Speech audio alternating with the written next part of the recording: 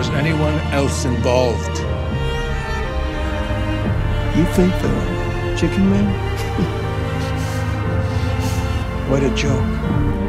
Alvarez has been paying me for years. Years, but you know what? I would have done it for free because I hate every last one of you psycho sacks of shit. I opened Lalo's gate, and I would do it again, and I'm glad what they did to him. He's a soulless pig, wish I killed him with my own hands. And you know what else, Hector? I put you in that chair.